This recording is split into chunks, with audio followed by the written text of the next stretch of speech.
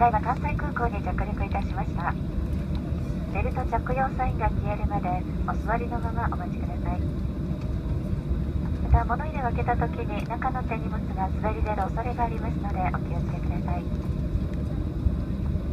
この先通信用の電波を発する電子機器もご使用になりますが携帯電話での通話は周りのお客様のご迷惑になりますのでお控えください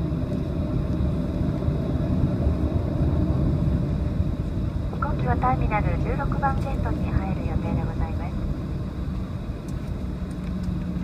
今日もスターライアンスメンバー ANA をご利用いただきましてありがとうございました。次のご搭乗をお待ちしております。また関西は台風接近によりこれからさらに雨風が強くなってまいります。交通機関の乱れもございますのでどうぞこの先もお気をつけてお出かけまたお帰りください。行機の中にお忘れ物がないようもう一度ご確認ください Ladies and gentlemen, we have landed at Kansai International Airport. Please remain seated until the captain turns at the seatbelt sign. Take care when opening the overhead compartment.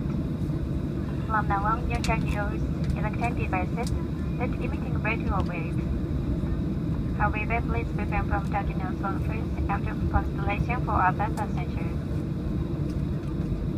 Thank you for flying with ANA, a member of Starline. We look forward to serving you again.